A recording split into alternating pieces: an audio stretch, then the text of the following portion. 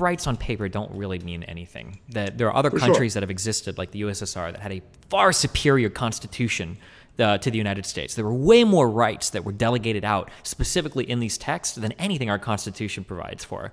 Um, but the difference is, in, in the United States, we have strong institutions that guarantee those rights. And that at the Right. end of the day, yeah, your rights come down to the institutions that exist to protect them, not just what's on paper.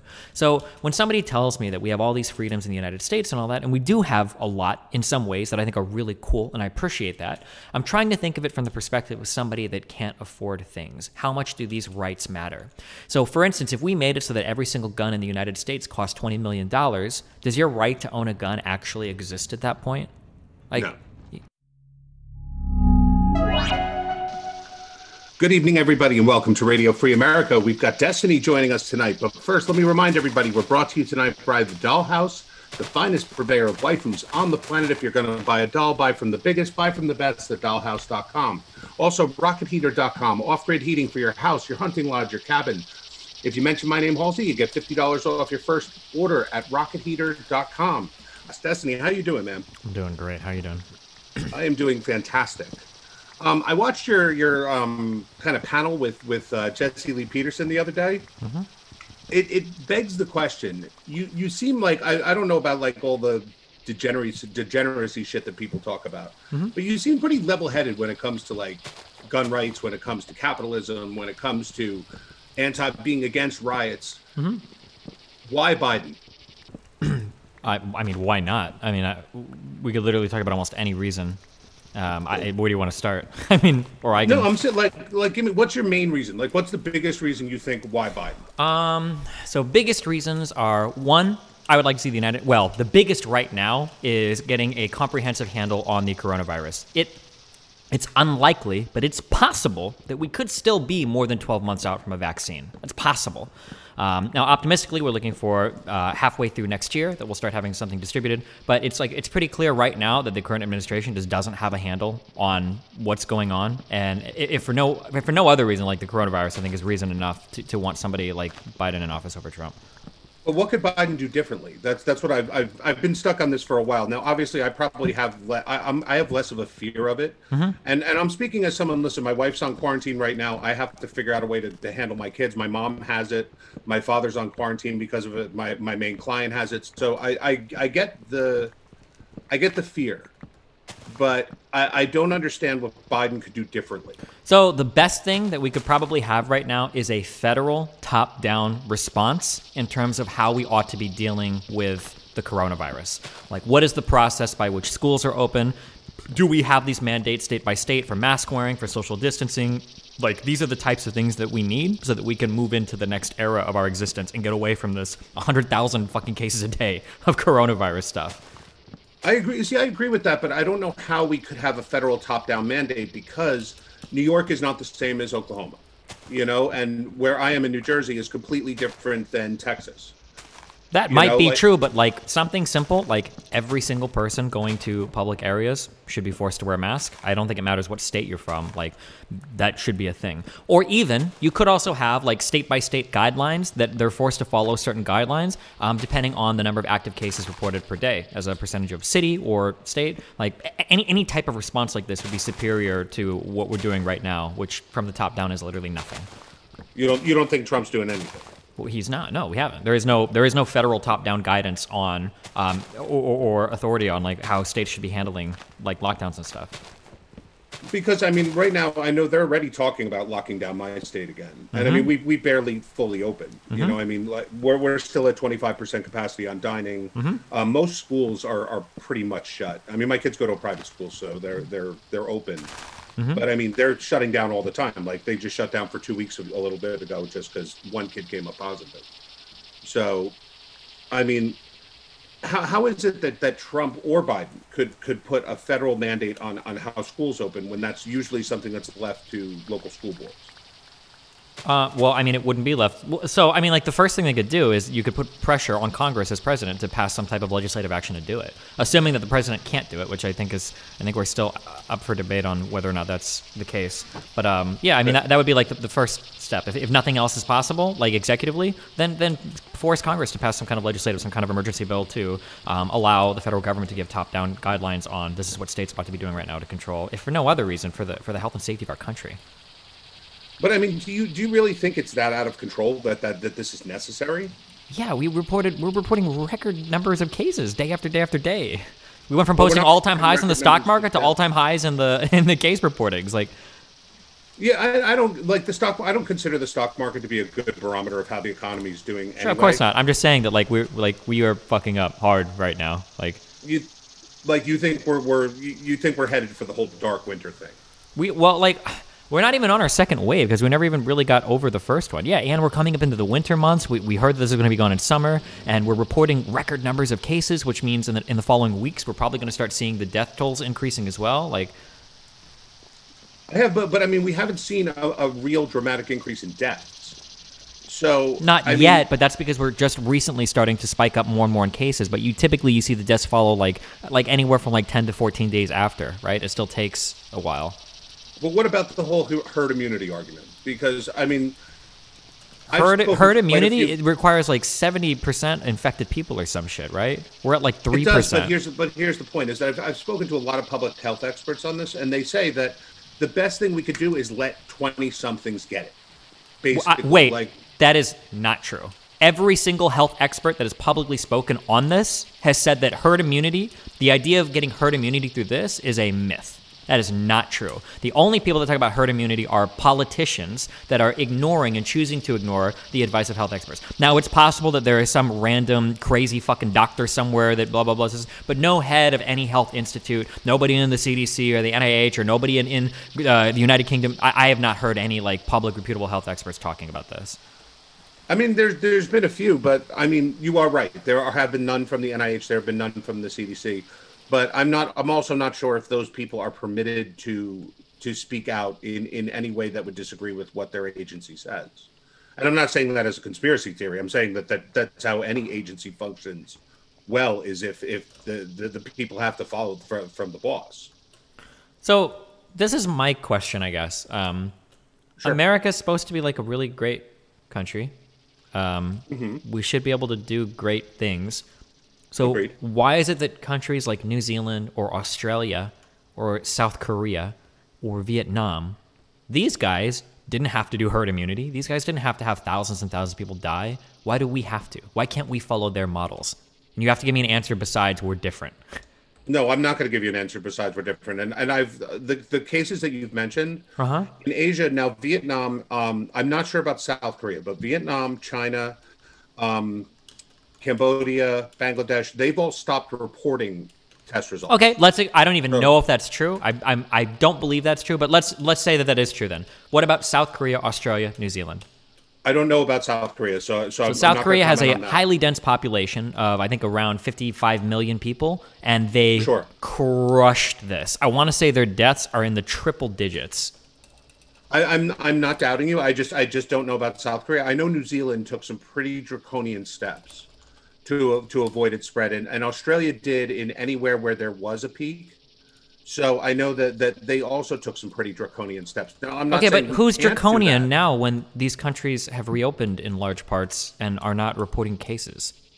Well, Australia has, and, and and New Zealand is actually talking about locking down again because they just popped another case like a little while ago. They, I think they've had like five cases in New Zealand, which I mean, granted, they're very spread out and they have a very small population, so. It's, New, it's Zealand, not- I, New Zealand is not closing down again. They have not talked about that. That's not true. Also, Australia is open now. Are they? I thought they haven't yet. I- I, I know if they have, it's very recent. They opened once and then they had to close down a little bit because Victorian cases were spiking, and then they got hmm. rid of all the cases. They crushed it, and then they've reopened. I, I don't necessarily have a problem with doing things the right way. If they, if if a country can give us guidance on how something can be done, when when you say the answer can't be well we're different, the one answer of we well we, we are different is that we don't have a compliant population. We're not a population that that tends to all agree or disagree on anything.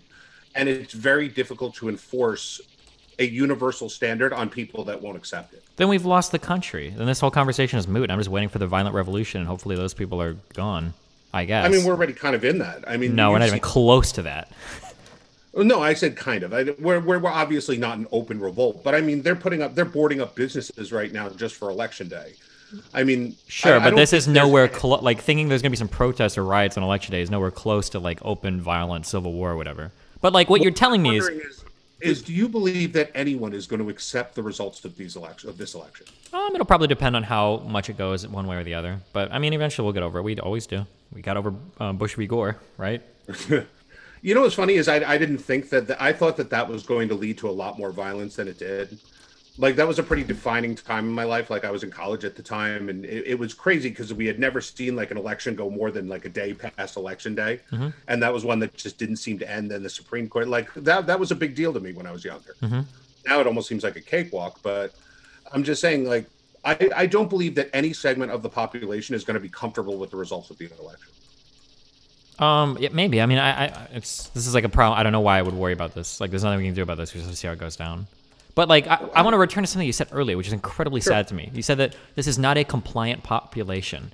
Do you think that the United States is so lost that we can't come together and, and do something for the better of the country? Like, don't No. don't you rem- you- don't you remember your you, you must remember after 9-11 how the country came together in ways that it never had before. People were talking about new york drivers were actually like nice and courteous to each other for like the first time ever. Like that people were a lot different in the days following that there was some sort of country unity. I think bush's approval rating was higher than it ever had been. You don't think it's possible that americans can't be weaponized their patriotism or something to come together for just like a few months to clean something like this up? That's that's just impossible. We're the only country that can't handle that So number one, I live 10 miles outside New York City. I remember 9-11 like it was yesterday. And, Okay. and it was, you know what it was? I think that, that a lot of, of what we did on 9-11 was wasted because immediately after we wound up going into Afghanistan and Iraq and, and causing this massive quagmire. And now nobody has any kind of faith that they're doing the right thing. Like 9-11, we were a united people. And it almost shows why we shouldn't have been because of the way that our politicians took advantage of us right after that unity service mm-hmm. You know and i i think that do i think we're capable of coming together as a nation to accomplish something? No i, I really don't. I, I i don't i don't think we see each other as opposition anymore. I think we see each other as enemies. Um okay. Well i mean that's a pretty dim review of things so i don't really know. It's not, it's not a dimmer view. Or i n- just dimmer i'm I- sorry doomer. Like it's very like nihilistic. No, because I, I don't I don't see that as being necessarily a bad thing. I, I don't think I'm not one of these people who thinks mass violence is on the way and that we're going to wind up shooting each other in the streets and all of that. I just think that there's eventually going to be a separation. I, Okay. I, I don't believe that America can remain 50 United States for that much longer. Okay, I don't. I don't think that's happening anytime soon. I think that's fantastic to believe that, but I mean, I guess we'll see, right? I mean, what what do you say by anytime soon? I'm saying in the Like within the next 10 years. hundred years, I don't think that we're going to be breaking off. We might add states, but I don't think we're going to have states like breaking off or anything like that. I, I think that we're not going to have any option. I, I, I really don't. Okay. Well, hopefully Biden unifies the country in unprecedented ways, and we don't have to worry about that. I guess. Listen, I mean, but but I want to ask you because I'm as I said, I I respect your opinion on these things because I, I actually I watch your stuff and I, I watch your reasoning on these things, and you don't seem to be completely out of your mind when it comes to it. How does it not bother you that Biden has trouble putting together like complete sentences? That he doesn't seem to really have a grasp on what's going on around him. People say that, but it's just not true. If you watched his last debate performance against Trump, he was, and this I is did. surprising to me, he was more articulate than Trump in that conversation, which I didn't know Biden even could be, to be honest, because Trump usually has the upper hand in those types of exchanges. But I thought that Biden was incredibly coherent during that debate. And these aren't scripted, prepared answers, these are live things formulated as had been given. So, I mean, I think that Biden has the capability to speak as well as anybody. Um, if we want to point to random stuff like that, I mean, I can point to Trump needing like an escort to, to walk down a ramp so he doesn't fall over and hurt himself, or Trump not being able to raise a glass of water to his lips. But I I don't think that dwelling on like the, the, the mental capabilities of any individual like that does anybody well. I think that people get way too hopeful that somebody's going to like lose their mind or some dumb thing like that is going to happen. I don't know. I, people did it with Hillary, and I don't know. Well, I don't. I don't. I, I'm not raising like that. That I think he's going to lose his mind. I look at it this way: I don't want Kamala Harris as president. Like I'm I'm I'm more comfortable with a Biden presidency than I am with with a Kamala. Like Kamala Harris is just as bad as Bernie Sanders as far as I'm concerned. Mm-hmm. And I don't want a Mike Pence presidency either.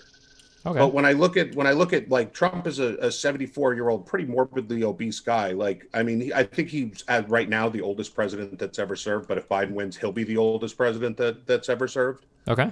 So it's a legitimate argument that we have to look at what could happen in the next four years. Well, I mean, it's and, a legitimate argument, but I mean, I, I, guess, but only if I didn't like Kamala Harris. I'd take Kamala Harris over Trump too. so I mean, it's a, that's an easy one for me. But what I mean, what does Kamala Harris speak to you on? I mean, as I said, you seem to be an avid capitalist. Like I, I would consider myself less of a capitalist than you.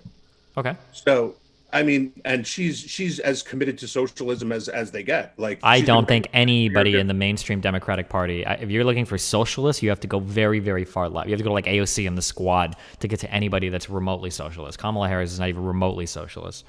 But Kamala Harris sponsored the Green New Deal with AOC. Like, I mean, they she's she speaks to socialized medicine. She she just released a video today that was all about uh, equity instead of uh, equality and and all that. Like, I mean, she she speaks to the socialist wing of the party. She's been rated the most liberal senator in in the Senate by quite a few outside organizations. Yeah, I guess it depends on how we define socialism. I mean, I guess if you're talking, if your idea of socialism is the government doing stuff, then I, I mean, I support that idea of socialism. I guess if you're talking about the idea of abolishing capital and private property and making so the workers own the means of production and everything, I'm not in favor of that. But I don't think Kamala Harris is either. So.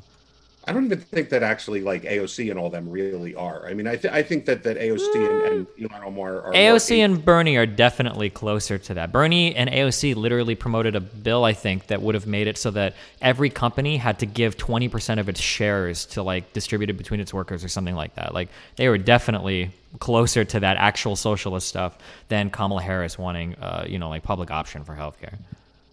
Well, I mean, she doesn't. She wants Medicare for all. I mean, she she co-sponsored the bill.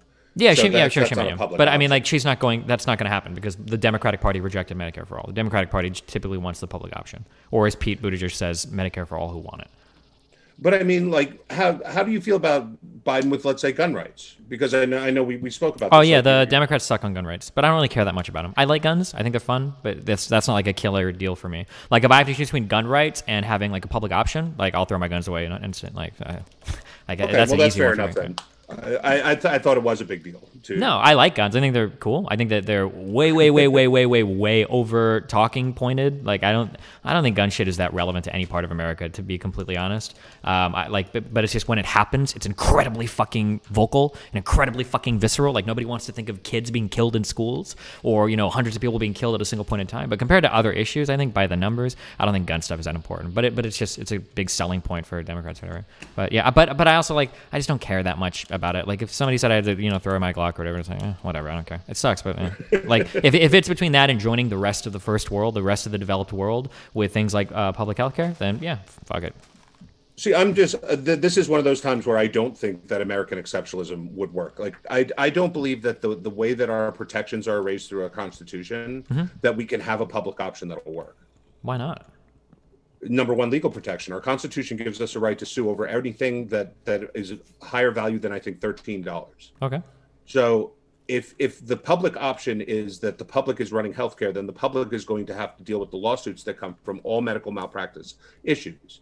And we're already well, the, talking the, about the public already deals with that the public already deals with all sorts of malpractice i mean look at new york. New york spends this is a surprising figure, and I can't even believe I'm quoting this because I didn't believe it until I looked it up. That New York City spends a quarter billion dollars a year settling lawsuits for the mm-hmm. publicly funded police department. So we already do a lot of like legal related stuff for publicly funded stuff. It's not like that's not there's no precedent for that in the United States. So, and then we've already got like Medicare. what? An, an individual doctor in, in, the United States has to take out about two hundred thousand dollars mm-hmm. in medical malpractice insurance just to cover the lawsuits that they're hit with. Okay. If that all becomes on the government in order to provide, I mean, we're we're we're talking about trillions of dollars in liability that will now be on the government as opposed to being on private insurance companies. Okay. I, I mean, I mean we'll have to figure it out. I mean, like we, everybody else has figured this out. We have to. This is embarrassing for me to not have to not have this figured out. I don't know why. I'm an American. I think that this country is very exceptional. Um, I think that there are things that we can do. Uh, I don't know why we keep making excuses. Um, we fucking killed it in World War II. Uh, you know, we've done amazing fucking things. we put people on the fucking moon. Uh, we figured out so much crazy shit. We invented the fucking automobile. We used to lead the world in science and technology and education. People from all over the world still come to this country to get educated in the United States. The idea that we just we're just too dumb to figure out how to, I just reject that. It's embarrassing to me. Um, and as somebody that has like an international audience, and as somebody that has a son, like it's just it's it's embarrassing to me to have to continue to make excuses for why we can't do something that every single other developed country has done. Um, I reject the idea that we're just so exceptionally worthless or stupid that we can't do it. I reject the idea that we can't pass some bill or some legislation to let us do it. Like everybody else has figured this out. It would make the country better off. It would make our it would make our people better off. It would make our economy better off. Okay, sick workers and all that shit waste time in, in the economy. We generate less revenue. Like this is just like this is such a non-issue. I like I don't want to have to ever debate or argue about this. Like we should have some form of at the very least like a public option. Like we should be done with it. We should have moved on from this issue a long time ago. I don't know why we fight it. I don't know why the majority of people that do fight it are people that can't afford healthcare anyway. Like I, I don't know. I just I, I don't understand the, the huge fight against it. So I uh, there, there's a lot that I can answer in that one. Yeah. I also believe in in American exceptionalism to the point where I think that we can figure out private insurance.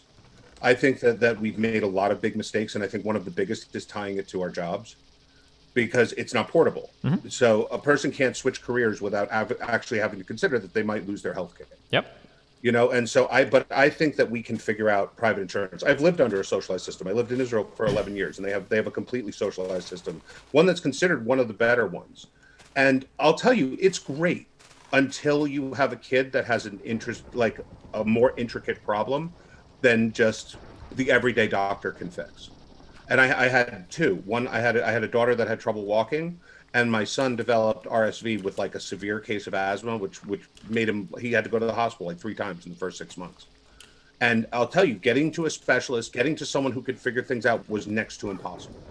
Now, if, you if you were sick, it was the greatest system on earth because if you had like bronchitis, you called up the doctor, you went and saw him for five seconds, it cost you five bucks, and you what you went out with an antibiotic prescription. There was no problem.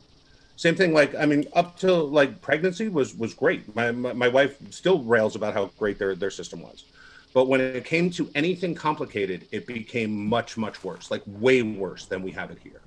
Like they had they had five MRI machines in the country, and they ran 24 hours a day. And when you need an MRI, they'd go, okay, next January is your date, Saturday at three in the morning, and that was it. You, there was no other way you can get an MRI. So here's my personal experience um, my kid's mom had a really bad cough for months, and it took us three separate doctors that we had to go to from three separate hospitals to the for, for the final doctor to finally give her the correct diagnosis. She had stage four non-Hodgkin's lymphoma. Okay, it, I'm sorry it, it took, my, my, brother-in-law had that. I'm yeah, yeah. Don't be sorry. She survived. So, um, but like it took us like over a month of shopping around at doctors to actually get that diagnosis.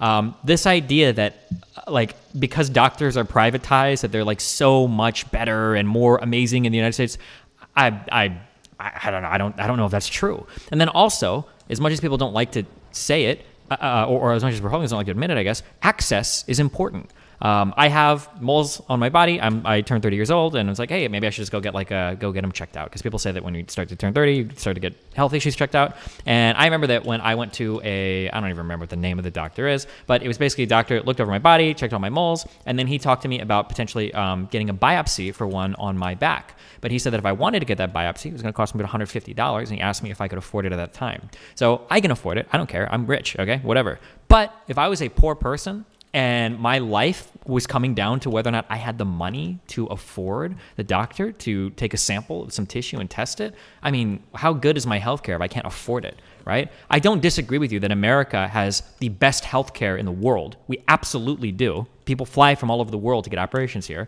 but that doesn't mean anything if people can't access it, right? So, but I mean, and, and then like this idea to have... this this idea with like you know, um, like, oh, well, the doctors are just not good, blah, blah, blah, blah, blah.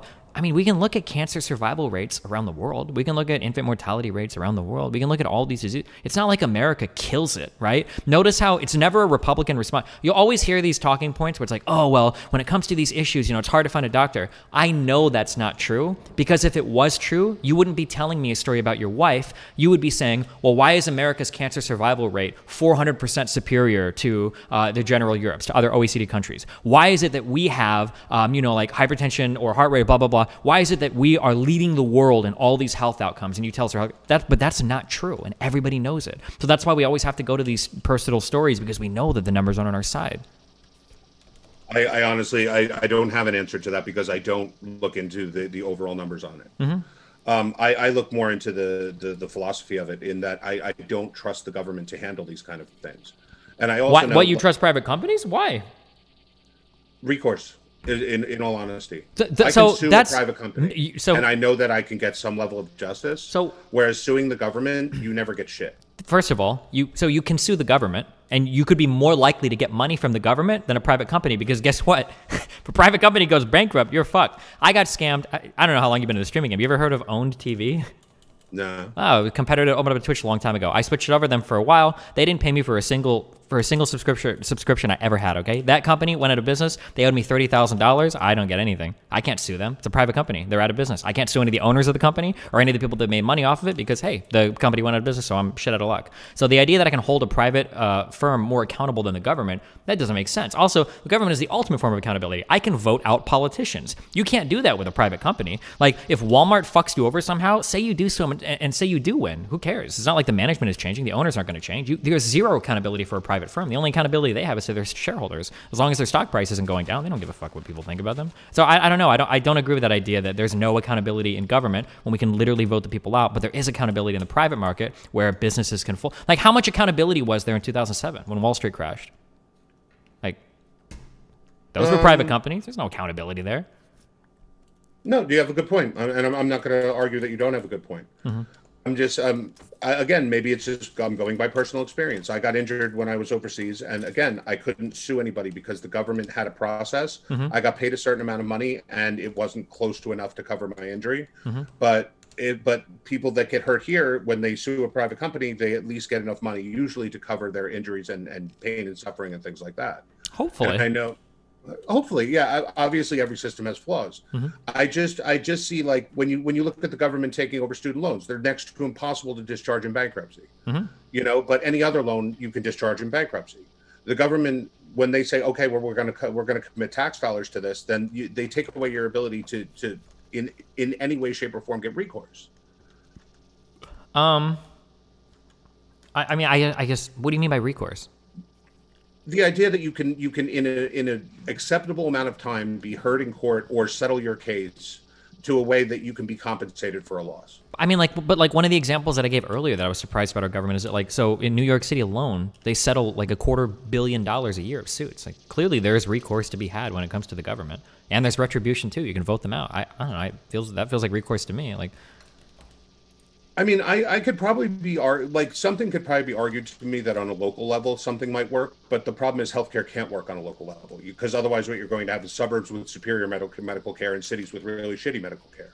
Sure, but I mean, know? like that's like that's kind of um, I mean, like you almost sort of advocated for something like that earlier. So I I agree that tying health insurance to our jobs is bad but getting these group pools is important for getting like good coverage. If we got rid of private insurance tied to our jobs and everybody just had to buy individual um, insurance shit, that stuff is expensive. I'm a relatively healthy, young-ish person, and like even just for me, healthcare is like for the worst plan, highest deductible plan possible, like $250 a month. That's it's a lot of money for some people, right? And for people with families, like you're looking at four figures sometimes. And if there's a health issue there, whew, that stuff can get really expensive really quickly. Um, so I mean, like we would have to have some type of pool of people to draw from still. Um, and I don't know, this just being ran by the government just is so simple. It makes these things so much simpler to figure out. I, I, see, I, I just don't, I just don't see. I mean, look, I'm not one of those people who says that Obamacare was just terrible mm-hmm. because for me, Obamacare is I, i have been a, an independent contractor for forever. Mm-hmm. Like I've, I've owned my own business since I'm 19 years old.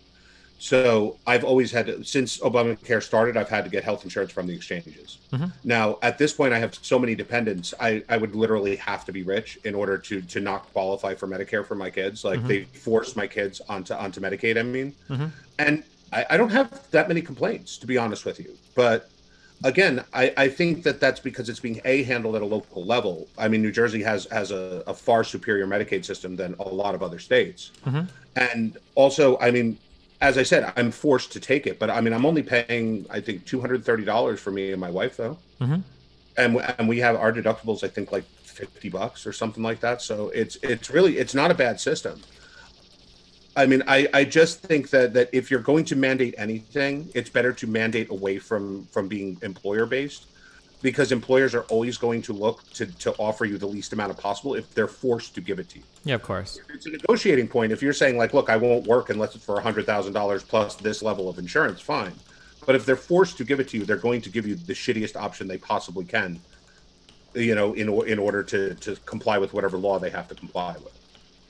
And and that I think is it's again a broken system. I should be able to take my plan with me. If I have a plan that I think works for me and it costs X amount a month, and I want to go to another job and keep that plan, it shouldn't be that I have to go. Okay, well now it's ten thousand dollars a month because my employer isn't covering part of it. Like that should be a part of my negotiations with with a new employer. Sure. Which is why I like the idea of a public option. If you've got private insurance and you like it, or if you've got something for your job and you like it, yeah, you should be able to keep it. I don't think we should be taking away all of that or making private insurance illegal like with Bernie's insane plans. But But why would you? Why would anybody offer private insurance if if if the public option is free? Um, I mean, it would depend on what. Well, the public option wouldn't necessarily be free for everybody. Um, but like maybe, eh, but even even if I, will I'll, I'll, I'll go farther. Okay, let's say that the public option is free. Um, maybe there are just some things that you want to pay extra for. Maybe when I go to the hospital, maybe I want to have, um, maybe I want to have fucking Asian massagers and music playing in the background or some crazy shit. I don't know. And there's like an extra upcharge for that that the public option doesn't cover. Then yeah, people should have the right to pay for extra shit if they want it. Or maybe like maybe there's like MRI machines that you know you are, are more available quicker or something. Or if you want to if you want to pay for access or something like that, I don't think that should be illegal. If people have the money for it, and they want to spend it. That's fine. Or maybe you're like 94 year old grandma that gets like a fucking tumor. Maybe in the public option, like we don't have the money to pay for every single operation for people that are 150 years old. But if you got the private money, yeah, then pay for it. Like I think that's fine if you want to do that. If you want like a private baby suite, yeah. If you're like pregnant and you want to have your own little special room with pink curtains or some shit to take your baby, out, like yeah, I think that stuff is okay. People want to pay for it, that's fine. Funny enough, that's that's actually how the system worked in Israel. Is that if if you wanted, if you had a, an appointment to see a specialist, and let's say it was a month away, mm-hmm. you could see him privately, which meant you pay for it out of pocket. But but that's all it was, and you could probably see the guy the next day. Mm-hmm.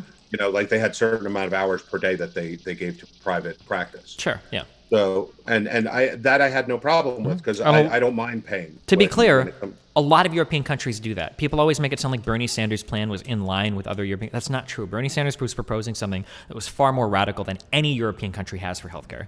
Um, so yeah, I think that like having something that's more comparable to some of the multi-payer systems found across Europe, France, Germany, Italy, like the, the, that, that's fine. Like the, if you want to pay for private shit, you can do it. But we have a public option for people that can't afford it. I, I don't- know how you feel. Maybe it's because I, I have a more international audience now. I have an international girlfriend that lives in Sweden. Um, I have a son. I look at the world and I look at my country specifically in a lot of different ways now. Um, like w- the fact that we have so much wealth in this country, and then we have people that can't afford insulin. Like, Like it's it, it used to be something that was like intellectual for me like oh well you know the, the numbers make sense if we produce this much you know goods and services blah, blah, blah, blah. but now it's more it's a more visceral feeling it's actually like embarrassing for me um, like when i'm driving around like la with melina and she like sees like under every single overpass the tents and tents of homeless people. And she's like holy shit i thought that was just in the movies. I can't believe that. Like that's actually embarrassing to me. I, I cringe physically. Or when melina tells me that like if she wants to go do testing um, if we we get regularly tested for like stds for her to do that in sweden is literally free. She makes an appointment and she has to wait like three days for it. And if i want to do it in america i got to pay like $350 for the same test. Um, and if i was poor i just wouldn't be able to afford it. Um, I, that's i don't know that's embarrassing to me like I, I don't think that my country should be like that. We should be able to do better than that. I, like when i hear about the great things america's done it's sad to me that i have to go back 10 20 30 40 years to find that and everything that we're doing currently is just so bad compared to the rest of the world. I don't know. I, I don't think it has to be that way. Well, I mean, there's a couple points, and and I, I hate to use like one typical Republican mm-hmm. talking point, but it is happens to be true. sure. We innovate the best medical technology on the planet, and we do that because of because of the, the, the financial incentive. Yeah, but we can't. You don't think we can do that? And you don't think there's enough wealth here that we couldn't continue to innovate on medical stuff and get like health insurance to people that don't have the money to pay for it? You know, we can't do both. Like But I mean, we have Medicaid. We have we have a system for people that can't afford it. we have something for people below the poverty line, but that doesn't cover all of the working class poor people. That like, for instance, so for when, so we had to do so much random paperwork when me and Rachel were together because when me and Rachel were together and we filed our taxes together, the way that our income was reported, I had to buy some of those cancer drugs. Jesus Christ! I remember one of the times we went to the hospital after Rachel got her diagnosis, and there was like there was some pills that we needed. I think it was literally one thousand dollars for one treatment of this pill that I bought for one day. And after that, I was like, okay, we got we we have to get you on like fucking Medicaid because I can't afford this. But because of the money that I made, there was no fucking way. Because I made, I think I was making like around like I think one hundred and ten thousand dollars that year. So like I'm not qualifying for any of that. But that just because I make like a, a very very low six figure income, that doesn't mean that I can pay thousands of dollars every single week for her cancer treatment, right? I have other bills and shit. Like I can't do that. So like, yeah, Medicaid exists, but that's like for the poorest of the poorest of the poorest of the poor, and it misses the entire working class that is making enough money to survive but can't afford what are luxuries in the United States, like healthcare, which is crazy to me. But I mean, again, I, I'm not I'm I'm not saying that we couldn't figure something out.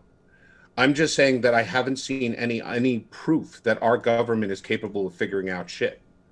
And the thing you said, like you drive past, you see the homeless tents and all that. Oh, okay, I agree that we could fix it. I'm just curious as to why we're not.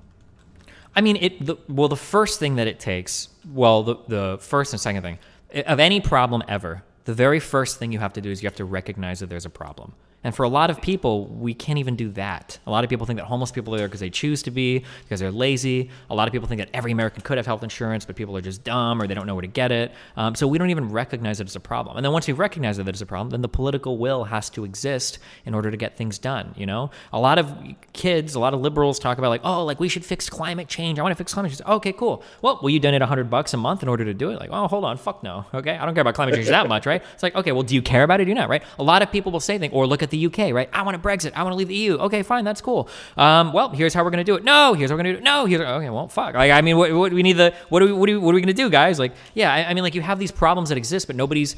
It's very easy to say that I want to solve a problem. But then when it comes time to addressing, like, okay, well, how do we actually solve it? And nobody wants to make a sacrifice for it, right? How many people, I remember hearing about this in my own city, how many people in Omaha are, are, are like, um, uh, you know, we need to fix our schools. We got to fix our schools. It's a shame that teachers get paid forty thousand a year. Blah blah blah. They have to buy school supplies. This is bullshit. We need to fix our schools. Like, oh, okay. Well, uh, time to raise uh, property taxes like one percent so that we can like get some more money in the system. Nope, wrong. Voting that shit down. No fucking way you're gonna touch property taxes. People, voters will crucify for you that. It's like, okay, well, you guys want to fix things, but nobody wants to give anything to do it. I don't know. I I, I just I think But that's we do do it here. That's why. That's why maybe maybe that's why it's a, a foreign concept to me. I mean, I I pay double in property tax what I do for my mortgage. So, and I mean, I, my kids go to private schools, so they get wait. no hold on. I'm wait. You pay double in property taxes than you do for your mortgage. Yep, I pay I pay over a thousand dollars a month in property taxes.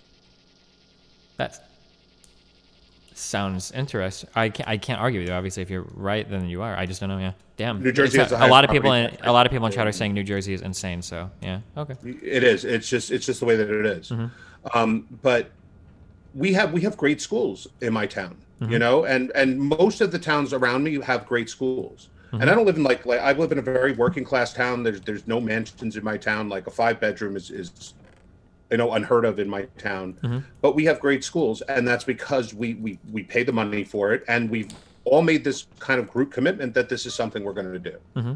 And and a lot of the towns have, and even even the inner cities have made some level of commitment Mm-hmm. to to better their school. Like uh, my my mother worked at she's retired, but she worked at an inner city school. Like they put a shit ton of money towards the VOTEC program because they they knew that it was necessary for the inner city kids. Mm-hmm. You know, and and even a school that was was generally not the best because as a all inner city schools are are not generally the best. They had one of the top VOTEC pro- programs in the country. Mm-hmm. You know, and it's because they, they made we made that commitment to ourselves to do that, and we have done it. Why So can't we? maybe- We can't make that kind of commitment on like a countrywide level. It's just not possible. I don't know how we make because I mean, like, I, I have a friend. He lives in Appalachia, right? Mm-hmm. Like, he he drives miles to to go see a doctor. Mm-hmm. There's no capital investment whatsoever into the poor of of the country. There there's there's plenty in the poor of New York City, Mm-hmm. or the poor in Newark, or the poor in Chicago. But when it comes to the poor, the rural poor, there's no commitment whatsoever by anybody to Mm-hmm. help them.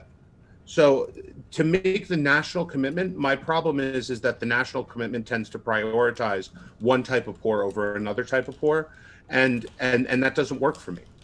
Well, so like the reason why we prioritize some poors over others is because the cost per person to help is so much different, um, which sucks and it's not really fair. But like if I if I were to if I could choose, like I could set up a hospital in some rural place in Nebraska, or I could set up a hospital outside of like a suburb or something in New York City. Like in Nebraska, that hospital might serve like 100 people within like a 50 mile radius. Whereas like if I set it outside outside of like a major city, well, it's going to serve way more. Um, and that sucks. But the only way that you can get help for those people is literally going to come through some sort of government investment because the private investment's not going to be there because there's no incentive, right? Because it's you're not going to reach as many customers. But as I said, I, I, I could accept that if if I saw it happening. If I saw the government, uh, like, because the government already pays a shit ton of money into the healthcare system, regardless of how private we want to claim that it is. You know, there there still is a massive investment by our government, especially when it comes to emergency room care, and they're not putting the money into the rural poor, regardless of what of how many people it will help. I mean, but there know? are hospitals out there, right? And like, or like the post office will deliver mail to any address in, the U.S. So like, I I mean, like it's there, right? No, that I mean the, their their healthcare system is is wildly lacking, and because of that, their insurance rates are through the roof. Sure. Like I, I, mean, if you look go ahead. if you look at like the the rates through the Obamacare exchanges, that I, I mean, you said you're you're from what Oklahoma, Um, I live in California now, but I'm from Nebraska, so that's what I'm. Nebraska. Yeah. But when you look at the rates that people pay out there, like a single person who's who's not eligible for for subsidies, Mm-hmm. they're ten thousand dollar deductible, thousand dollars a month for insurance because there's one carrier, and and the services are so spread out that they're that nobody takes anything, you know. So it's it's almost it's almost like pointless to have an Obamacare uh, program. Well, but like the only thing that would solve these cases though would be more government intervention. You'd have to get in there and force it down through like taxpayer money from across the country, or at least across the state. Because privately, that's never going to get solved for, because there's just not money to to invest there to make money back, right? But I mean, there does seem to be the money to invest there. If if if the money was there to invest, I'm sure if people saw a result of their money, that they would be more than happy to do it. Like I, I always say this: that the, if a government that actually worked on infrastructure is one that would probably never be unelected. You know, because people when they when they see nice roads, when they see nice airports, when they see you know bridges that don't fall apart, when they see actual things that that better their lives, they tend to have a higher trust in government when when you pay your taxes into a system where you don't actually see any results from your money other than than a kick-ass military which i mean come on now at this point. You know i mean we we're, we don't see the value in our investments so we don't see the reason to make more investment. And that's why it's so hard to convince people that the government is actually there to to provide anything for you. Yeah, I mean, I guess it just depends on what it is you're looking for. Like, um, and then also like the investments that we make, we don't always see them because they're not always for us. So, for instance, people talk about how much of a failure like Obamacare is or the ACA. Um, the ACA didn't do anything to help prices. That's 100% true. Nobody can ever deny that because it didn't. However, the ACA made healthcare available to some like 13 million people that didn't have it before. Like those Agreed. people's lives were demonstrably improved by having access to the ACA. Like without the ACA, these people are fucked.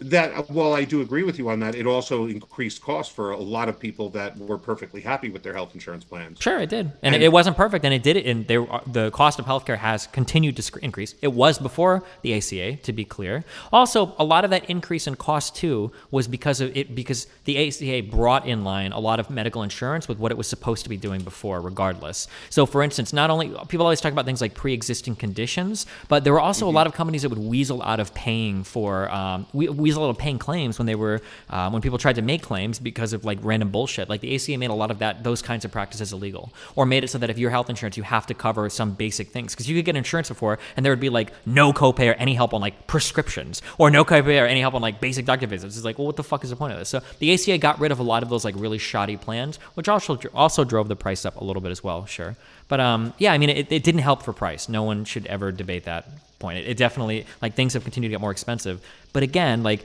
it's not like what we had before was any better. Like there were still tons of people that just weren't ever covered by anything. It's like it's so bad.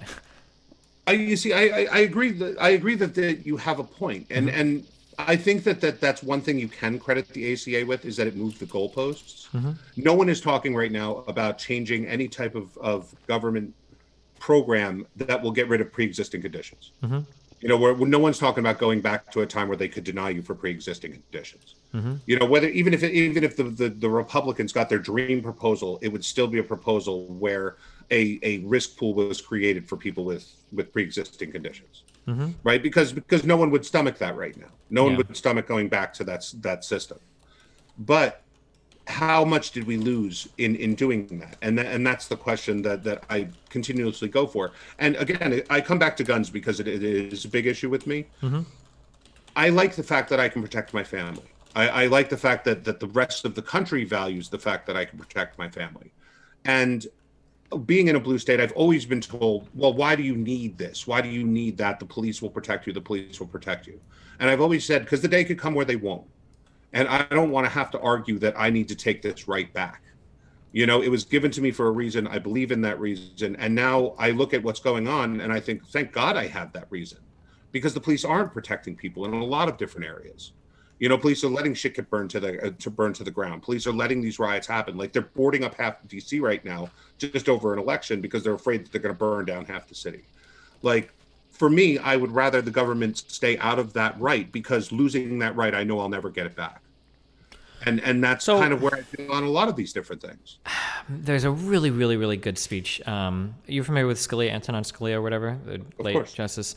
Um, he gives a really good speech in front of Congress having to do with um, rights. And Uh, one of the things he talks about is that like r- like rights on paper don't really mean anything. That there are other For countries sure. that have existed, like the USSR, that had a far superior constitution uh, to the United States. There were way more rights that were delegated out specifically in these texts than anything our Constitution provides for. Um, but the difference is, in, in, the United States, we have strong institutions that guarantee those rights. And that at the right. end of the day, yeah, your rights come down to the institutions that exist to protect them, not just what's on paper. So when somebody tells me that we have all these freedoms in the United States and all that, and we do have a lot in some ways that I think are really cool, and I appreciate that, I'm trying to think of it from the perspective of somebody that can't afford things. How much do these rights rights matter. So, for instance, if we made it so that every single gun in the United States cost $20 million, does your right to own a gun actually exist at that point? Like, no. yeah, like you, you can, like you, you can go out and buy one, but if you can't afford it, well, who the fuck cares? Like that that right delegated to you literally means nothing. And I, I look at like other services related to that in the same way. Like, yeah, it's cool that we can own guns, but like I think that there are probably more people on the planet that want like healthcare and a good education for them and their children than people that want to own guns to protect themselves. Um, and again, to be clear, I love guns and I don't think anybody should fuck with them. Um, but like to, to, to talk so fervently about firearms and how important it is for every American to possess a firearm, um, like as a I've never had a moment in my life with my son Nathan where I felt like I needed my Glock 17 to make his life better. But my son also was he has a Van der Woude syndrome, had medical problems growing up, and man, dude, we had him in all sorts of speech therapy and and, and a lot of like examinations to see if he needed surgery. Um, if I was a poor person, I wouldn't be able to afford any of that. My my son would just be fucked. He would just he would be talking like a retard throughout all of his schooling, and he'd just be fucked if we couldn't afford any of those extra services. And all I can think of is because I'm a big streamer now and I make a lot of money now. But before this, when we were pregnant, when we had him, I cleaned carpets professionally. If I would have carried through with that same job, all the freedoms in the world that are promised to me by my American Constitution wouldn't have meant anything for my son that would have just grown up with a massive speech impediment and, and potentially have fucked, you know, physiological problems because I wouldn't be able to afford any of the treatment for him. And I don't know, that really fucks with me. That like that super bothers me that if I don't have money, I lose my rights in the United States, that it's a country for the rich. You see, I, I, I can hear that a little bit. I, the, there there's a level of sympathy I have to to it, but at the same time, the market is what usually drives costs down. The market is, I mean, people like to talk about about ulcers, right? In in the 80s, having an ulcer was like I think one of the top medical problems that that wasn't fatal in the United States, and it would cost like forty to fifty thousand dollars to to have your ulcer treated surgically. Now you take a pill you know what I'm saying? And that pill, like, yeah, it might cost a dollar, and that might be sound like a lot per pill, but it's much better than forty thousand dollars for a surgery. And we couldn't do that, I don't believe, if if we had a government-run system. It's possible, but so. s- something that we have to think about for what do markets do? Markets don't aren't there for the public good. Markets are there to for the private good. I agree. well, yeah, that. to, yeah. So when I played, I used to play StarCraft 2 professionally a long time ago. And um, I gave lessons for people because people do that, believe it or not, for video games. They- They'll buy lessons from famous people because they want to hang out with you for an hour because they want to blah, blah, blah. So here's what I noticed with my scheduling, okay? If I scheduled 20 lessons, I could schedule them for $20 an hour, okay? 20 lessons for $20 an hour. But what I noticed was that if I raised my prices to $40 an hour, I'm gonna get way less buyers. I'll get 10 buyers, okay? But would I rather sell $20 of lessons for 20 hours, or would I rather sell $40 of lessons for 10 hours? I'll make the same amount of money, but I have to do half the work in the other one, right? So when we mm. talk about things like healthcare, right? Healthcare in a private industry isn't solving for the public good. It's solving to maximize costs. If I can sell 10 services to 10 people, or I can sell 10 services, or, or services to 10 people for $1,000, or services to 1,000 people for $10, I'm better off going with the fewer people at the higher profit margin because I'm going to make more money doing it. Like, I don't think that a private system ever is designed to maximize the public good. That's just not what markets do, and that's fine. I don't think markets should do that. That's just not how markets work. But I think we have to recognize like the powerful parts of capitalism is that well, capital is allocated incredibly efficiently in ways to make money. But I think it's our job as the government to kind of guide those people so that they're making money in effective ways that benefit society. I, think like that's a I think that's an important concept to understand that just because markets are powerful and markets exist doesn't mean that markets solve for the public good. They only solve for the for the for the stakeholders or the shareholders of that company. And it's not all the time that those shareholders that their goals are going to be aligned with the public good. I see. I agree with that. I just don't. I don't understand. I don't believe the government has proved an effective tool of aligning with the public good either. But they do. I mean, Medicare and Medicaid are, you said it yourself, are incredibly popular programs. That I don't hear people complain about it. Like, Medicare and Medicaid are incredibly popular public programs. Like, they just are. I hear people complain about. Me- I'm just saying I don't. Mm-hmm. But that that could be because where I live. Like, I mean, they're they're. I'm, I'm in a very densely packed state, mm-hmm. so I, I know a lot of people have problems with Medicaid and finding providers that'll take it. Um, the providers are limited here as well, but it's just there's so many of them that I, I haven't had a problem. You know, mm-hmm. and look, there's something to be said. It's nice going to the doctor, giving a card, and then never worrying about paying for anything and that's that's what what Medicaid provides. Because I mean, when, when I take my kids to the doctor, I hand them the card. I mean, maybe there's a five dollar copay, mm-hmm. or it's- not anything like astronomical, but they they pay for it. You know, my my one daughter needed braces; it was paid for. Like, I mean, if I had private insurance, that would have cost me thousands of dollars. Mm-hmm. You know, and and as I said, this isn't a case of me wanting to be on Medicaid. I'm not allowed to to get my kids private insurance mm-hmm. unless I want to pay three thousand dollars a month for it Yeah. because the exchanges won't allow me to because of the amount of dependence I have. You know, so I mean, I, I don't argue that it's a bad system. I just don't argue that it's an optimal system. I, I argue that it's a system that winds up costing. I mean, I think what a, a, more than half our budget, national budget, goes to Social Security, Medicare, Medicaid. Well, I, I mean, like our that's under our non-discretionary spending, um, and it is a large amount. The entitlements are huge. However, um, Social Security is a system that we also pay into, right? So it makes sense that a lot of it would be paid out as well, right?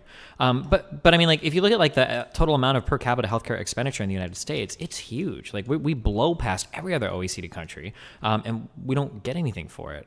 Like I think we spend like twice as much as the next country on our healthcare, and not everybody's covered. We have no paternity maternity leave.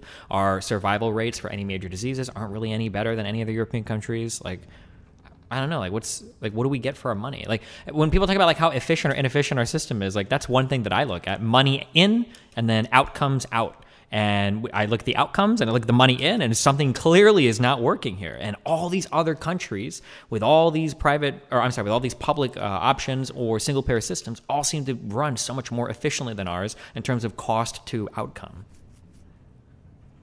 I mean, uh, cost to outcome. I don't know how true that is because I mean, when I, when I lived when I lived overseas, right, mm-hmm. I paid forty percent of my income in taxes, and that money never came back. There was no tax refund at the end of the year. There was no, you know, earned income child tax credit or anything like that. Mm-hmm. It was forty percent out of my paycheck, and that was it. Mm-hmm. Here, I mean, most years I get back more than I put in, and so do most people. To tell you the truth, like until you get to a certain income level, like you get back way more than you put wind up putting into the system in your tax refunds. Wait, Especially that's generally not true. Um, that can be true at very, very low income levels um, through things like I don't know if the child tax credit is refundable, but I know that the earned income tax credit, the EITC, I know that that is refundable. So it's possible that at very low incomes with dependents, um, that you could be getting back more than you pay in. But that's only true at like very, very. That's only true at low income levels with lots of dependents. I think like. Gener- generally, I mean, that's not me, true. Mm-hmm. For I, I just I have so many dependents that like low income is very relative. Mm-hmm. Like I, I make low six figures, but I still because of the amount of dependence I have, I still get back, you know, quite a bit of money. Sure. Like, so, but I'm just saying that a lot of times what we consider as to what we're paying into the system, we're not actually paying into the system. Like most people get even some of it back. Let's say they get 50% of what they put in back. You know, so if you're paying 25% and then you get 50% back, you're paying 12.5%. All of a sudden, like, that's not really the same amount going in. And it's not really like, what am I getting for my money? in most other countries, the amount they pay into the system is is huge in relation to the amount of money they take home. So I'm just saying that we're we're we're spending a lot of money, but that's because we're also not putting enough money into the system from our paychecks. And I think if you were to tell people that we were going to start putting money in, like a percentage of income towards a, a, a governmental health system, I think people will just say no. People freak the fuck out. Yeah, I mean, I guess in ter- I, I, was only talking. I don't know, like total taxes altogether in terms of putting money in and getting money. Out. I was only talking in specifically in regards to how much America spends on healthcare. That we spend a lot of money on healthcare, and we don't seem to get much for how much we spend. Um, I, I, was talking more specifically. So, like, I think if you Google like um, America healthcare spending, like uh, uh, per capita or whatever, that like our spending per capita is far, far, far above every other country, even with socialized healthcare systems. It seems like we spend more on healthcare related things, which is which is confusing. It's confusing, but the number is also skewed. It, we have this retarded system here in this country where we allow for emergency rooms to take care of everybody, regardless of whether they can pay or not. And in an emergency room, you'll pay eighty dollars for an aspirin, and you know, like God forbid, you're actually really injured and they have to do something for you. You're talking hundreds of hundreds upon hundreds of thousands of dollars. Those things should be routine if you have health insurance. You know, sure, but I mean, like I mean, there's two things. One is every other country in the world is going to be like that, and mm-hmm. two, I mean, what is the alternative? If somebody shows up in an emergency room, do you send them away? And let no, not at all. I'm just saying that that's a, a big part of what accounts for our, our massive amount of healthcare spending. I, I, don't think that's a huge part of our spending, and also other countries have to do the same. It's not like we're. It's not like if in if in Norway, if I get like sick or if I'm like dying and I go to an emergency room, they're like, "Can you pay?" Nope. Then get out. Right. No, but it's not like that. But what I'm saying is, is because their system is universal, mm-hmm. right? They don't pay eighty dollars for an aspirin at an emergency room, but eight dollars for an aspirin if you go into your your primary care doctor or you go to a oh, pharmacy. Yeah, I agree with that one hundred percent. However, you know? like that's another reason for having like a universal system is because if people are covered and they're more likely to get like preventative care or routine checkups, then they're less likely to run into medical emergencies that's going to fuck over them or the economy. I you see, I that, I don't I don't have a problem with universal standards. I have I just have I have a problem with government bureaucracy. That that always comes down to what it is for me. I also have a problem with if the government is the one who makes the decision who lives and dies. Mm-hmm. I always feel like they're going to make decisions that are going to wind up hurting more people than they're helping. Well, but like so people make this bureaucracy argument. I I've had a lot of like experience working with businesses and now like as clients or whatever.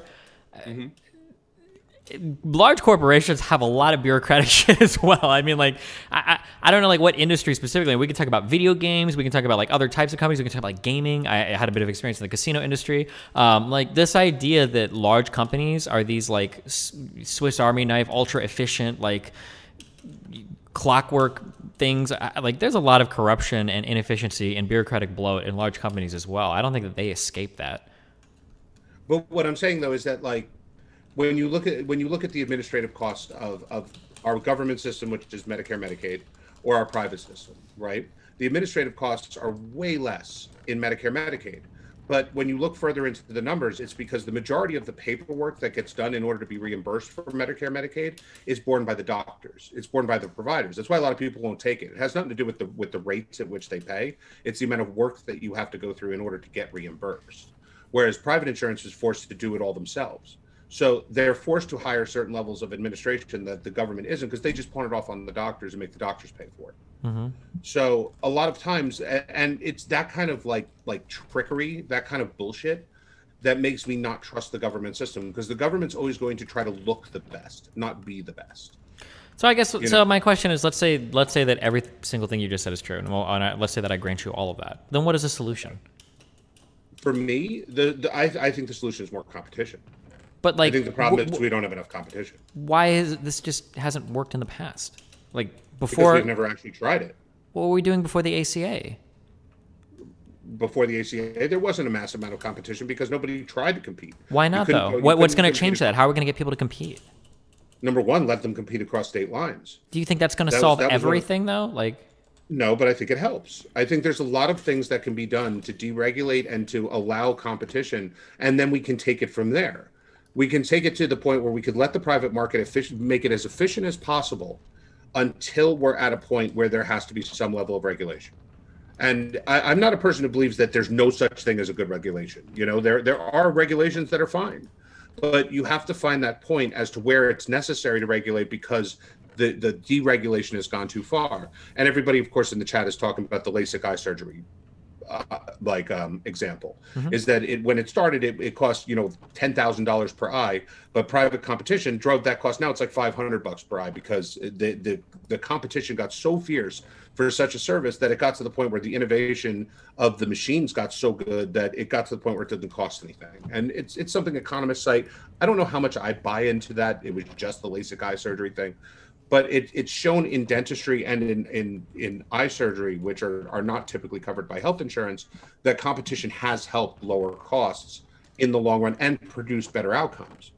Whereas I, I think that we could try that here. We've always tried more regulation and have just seemed to fuck ourselves up worse. Whereas I think we could try less regulation. And as I said, the regulators could come in at the point where we notice that deregulating is now causing more harm than good. I guess I would just. I guess I'd just be. I'd be warmer to that argument. It, it's just. Um. What what it, what is like your what's your work background? You, you don't. I, I don't need to know your specific. But I'm just curious. like, what do you do for work approximately? Business development. I, I help companies that are going from small companies to getting investment to getting government funding to growing into larger co- corporations. Okay. Awesome. Cool. So my guess is that when you are probably when you're trying to sell something to a company or when you're helping a company like walk through something i seriously mm-hmm. doubt that every single time you talk to a company you are building from the ground up a completely new approach to every single thing. I'm sure that you probably know that like hey for a company of your size this thing tends to work and we can modify this or this. Like you probably have a ton of blueprints that you work off of whenever you communicate with a given company because you know stuff that's worked in the past. You know what works you know what doesn't work right? I'm guessing. Sure. yeah. Sure and I guess that's just how I view like um, I know from a programming point of view, um, and, and, from other, well, no, just staying with this like. Typically, when you're when you're working with stuff, you don't want to reinvent the wheel. Like there are so many problems that we need to solve for in society. Like why try something that no one else has tried when other people do things and we know that it works? And I, that's just how I view healthcare. Like there are so many countries that have multi-payer systems that just have awesome healthcare outcomes. Everybody can afford healthcare, and that's awesome. Why try to take some radically different approach that could have incredibly negative or harmful side effects instead of just like just do let's just do what everyone else does. And then we'll like figure out like some other cooler problem rather than like stressing over healthcare that every other country seems to have figured out but us. And again I, again i, I mm-hmm. hate coming back to your typical you know republican type argument but you're also you also have to accept that most other countries have a pretty homogenous population so it's a lot easier to standardize care and the one well, country what, where wait, they what, don't how, have a very homogenous population, which is Canada, are are drowning in their healthcare system. I don't know, like what, unless there's like, I, I don't know if there's like fundamentally different types of care needed for different types of like non homogenous people. Like what? Sure, there are, because uh, there's different diseases that spring up from dis- different people. There's different levels of drugs that go to different people. There's different drugs that are targeted to different types of people. I, I, so I don't mm-hmm. think that, like, for instance, in the United States, I don't think that like black people or people with African ancestry being more predisposed to like sickle cell anemia is the thing that's driving up healthcare costs in our system. I, I have a hard time. Like, I know that there are different groups of people with certain ancestry that can be predisposed towards certain diseases, but I don't think that that's like a major driver in the difference in healthcare costs. Like, I, I, don't, I don't think that's. It's, it's a difference in what's necessary to keep specialists in in different healthcare systems. When you have when you have a hospital that opens up in New York, it's serving a much different population than a hospital that opens up in Nebraska because the populations are so different. So it's very hard to standardize care on a national level when you're dealing with individual populations that are different, and that does drive up costs. And again, I, I wouldn't have such a problem with it if if I just had had the example that it, I mean, and Reagan tried this, it, it failed. He wanted to just provide catastrophic insurance, right? Because if you have to go to the doctor and you know get a, an antibiotic, it costs 100 bucks out of pocket to go to the doctor. The antibiotic costs another 50. You know, you should be able to, to afford. And if you're that poor that you can't, then you you have something like Medicaid. You know, if you don't have insurance and you don't want to pay out of pocket, like whatever. But it failed because what they found was that that people that were going to regular doctors were getting recommended to specialists because they didn't have the money to pay the primary care just to go the step higher and they could get their catastrophic insurance to cover it because they were going to a specialist likewise i wonder if the opposite would work if you had to pay for you know if you if you were provided for basic health insurance like that was something the government provided but you had to pay for catastrophic insurance you know, would that work? Probably not, because if someone gets into a car accident and doesn't have insurance, like you said, a hospital's not going to just boot somebody out on the street when they get pulled in, you know, with a broken neck. So I, I don't, I don't know what the system is that would work. That because Britain, it's not working. They, they've had, they've had to import more doctors than they actually are training in, in their own country. Wait, but that's first of all, that's true in the United States as well that we have a massive shortage of medical professionals, even though we pay ours more than any other country in the world. And also, I think in the UK, I think I don't think anybody's talking about wanting to get rid of the NHS. Also, they have an incredibly diverse population. Um, like London, I think is like forty percent non-white people, and their healthcare outcomes are about comparable with the rest of Great Britain. Like it's not like I I, I, I just I, I don't buy as much into this idea that like different races of people need these like radically trained doctors that like a heart surgeon is going to cut into like the chest of a hispanic male and it's like fuck i forgot the hearts on brown people are on the right side and, and for white people still like I, I don't think that the training is that much different or like the level of specialization like oh like i can operate on brown and asian humans and i can operate like i i, I don't think I, I don't think it's that different. I, I mean i stand to be corrected if there's like some medical professional chat it's like actually it's dramatically different but I, I would be surprised if that was the case I'm saying it just adds to cost. The, I, I, wasn't. Yeah, it adds to cost the same way that like getting a different trim on your seat in a car might add to cost, but it's going to be inconsequential compared to the overall price of what you're paying. I think, like to have a doctor trained that might be like a little bit more sensitive to the differences of potential diseases between people. Like, and this is stuff that doctors should be trained about anyway. You should always be looking for stuff like this, um, because like for instance, like sickle cell anemia, that that's not something that affects black people. That's something that affects uh, that affects people with a certain like gene with that that tend to be predominantly black, but not all the time. They, like they can appear white and still have um, the, the, gene required to develop that disease, and they could be black and not have the gene required to develop that disease. Like there's all sorts of things like that that medical professionals. There's a reason why med school is so grueling and arduous, and there's so much you have to learn as a doctor for diagnostics. But you know. I mean, that's also a huge problem in our country. Is that, and I know this is a problem in most countries, but in ours mm-hmm. it's especially acute. Is that we don't have enough spaces in med schools, and we that's by design. They, they don't want to put out too many doctors. Wait, you know? why not? It, why do why doesn't the AMA want more doctors? Yeah, or why because would you it, think it lowers it lowers the the profit margins on the ones that are out there? The, the, they don't want to flood the market like they do with the lawyers. Wait, I think and, I think aren't schools all the time asking for more like people to enroll for like healthcare shit? I thought that was the thing that like no, colleges it's are really hard to get into med school. I mean, like they turn down, I think eighty percent of people that apply to med schools. But isn't that generally on grading? That's not because they're just trying to artificially drive up no, I'm saying like the in order to get into med school, you have to, it's not because just because of grading. The grading system is so high that you really have to be an exceptional student to to get one of the coveted places. It's it's not that there's that, that everybody who can't get in can't make the make the cut. It's that the amount of people that apply, there's only so many spaces. So it's just it it cuts out a lot of people. A lot of people in, in America are going to med school in the Caribbean they try to get in, in in Israel or in or in Britain or in any place because there's there's so limited amount of spaces here. It's it's been a problem for a long time, even long before the ACA actually. Mm-hmm. Hmm. but again, and and this is this is what I always come back to though, is that all of these problems have been known for a long time and nobody's tried to fix them. You know, it's it's it's almost like okay, do we start like okay, we've decided we're going to go with this government option, but we can't seem to fix the little shit let alone fixing the big stuff. Sure. Yeah, I mean, it's a, there's a lot of work to be done, of course. Yeah. Um, yeah. Real quick, let me read two super chats. Yeah, CT001 for 6.99. Mother Nature doesn't want everyone to live. That's why she created diseases to weed out the weak and unfit. You see it in all species and life forms. Whatever. With that, I, I probably agree, but that's irrelevant to the conversation. If that was true, 99% of the people watching this conversation, and probably you and me included, or maybe you're a better survivalist than I am, would probably be dead. I, can't, I don't think I could survive in the wild. Uh, I can't. I can't cook food um, from like a dead deer or whatever, or do the necessary shit to build a shelter. I couldn't do that, but Yeah, I could do all that, Oh, but okay. I also have to take five little kids with me everywhere Mm-hmm. I go. So sure. good, good chance I'd be alone doing it. So, Mm-hmm.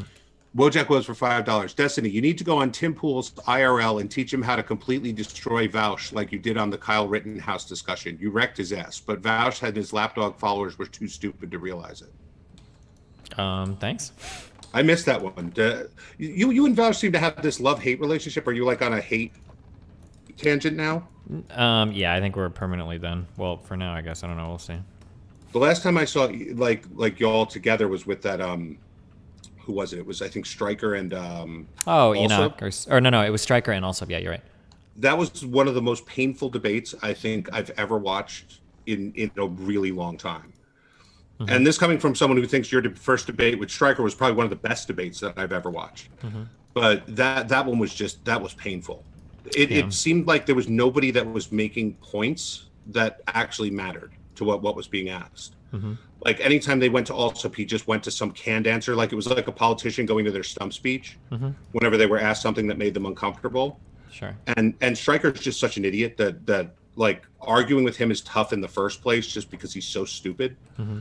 So it's really tough, but that that one was painful, and, and I, I'm not a fan of Vaush, so and I never have been. Sure. Yeah. I'm like avowedly not socialist, so a lot of people will just their brains kind of turn off right there. For a lot of people on the Well- left, this might be my big problem. So, and then I'm what was also your argument about Rittenhouse? what did oh, do what? What was your argument on Rittenhouse? Uh, I thought that the Rittenhouse thing, from what I saw, was like just it was one of the clearest and easiest appearances of self-defense that I've ever seen in my life. It like it i almost regret ever getting into it. Well, obviously because I've suffered so much as a result. But like I don't know, like I watched the video and I, I couldn't actually believe that there was so much controversy over it. Like people are running up, like trying to attack him, people shooting behind them. Like it was just like pretty obvious to me. But um, obviously the politically charged nature of it like drove a lot of people into insanity. So. I mean, that's what I'm really worried about for the election. To tell you the truth, is it's it is the politically charged nature of it. Is mm-hmm. that you know both sides are are. I think a lot of people are on edge right now, and uh, like I mean, everyone I know, people that are so anti-gun, they they've been yelling at me for years that like they've got to take away all the guns. They that it's the worst thing you could ever have. They're all going out and buying guns now. Hmm. You know, I had people calling me up like, "What does a 40 caliber mean? Is that a good one?" Like, you know, mm-hmm. so I don't know. I, I'm I'm really worried about about what's going to happen after after Tuesday. Yeah, I guess we'll see. I, Yeah. I'm hoping for the best, but you know. So what do you, what's your prediction? And, and then I'm going to let you go because I know it's late and all that. Um, I think Biden is going to absolutely run away with it. and It looks like he's going to crush it, but we'll see. Do you really? yes, Is that just because you want him to win, or you think that that he's actually going to win? I think he's actually going to win. It just like the polling is just so dramatically against Trump right now. It's a little unbelievable. But In the last 24 hours, a it seems to have shifted in his favor, and and the the numbers that the polls have put out there have not been holding up by early voting. um, a lot of people want to play a lot of games of numbers. I guess we'll see on election day. There's no. We're already we're like days away. I'm sorry, we're two days away. So I, we'll just see. Rather than arguing about the legitimacy or the validity of the polls, blah blah blah. Like a lot of people want to argue about polls because of small things that were on or off. I watched this happen during the Democratic primary. The Democratic primary was incredibly exciting unless you followed the polls. And everything went exactly as the polls said it would. It was very exciting to a lot of people that had a lot of conspiracies about how the polls were wrong. They were missing things. Michigan was going to swing again. Like everybody's. But if you actually watch polls, like, oh wait, hold on, Biden's had a massive fucking lead the whole time. Oh, and that was the story of the primary. The guy with the massive lead in the polls the whole time was the guy that won. And I guess we'll see for the election. Yeah. Well, I, I really do appreciate you coming on, man. I, I enjoy these mm-hmm. discussions. So Yeah. thanks, Thanks, a lot. Thanks a lot, man. I, I really do appreciate it. Guys, I will see you tomorrow. Um, we got a couple things going on, but I've got like five streams going on on Tuesday for election day. Should be a lot of fun. Tune into Destiny's channel. He's always got something great going on. Thank you a lot for showing up, man. I really appreciate it. Cool. Thanks a lot. I appreciate it, man. Have a good one. It's called the U.S. flag, you stupid fuck. This is the only flag that the United States federally has and recognizes. Why the fuck are you acting like the a different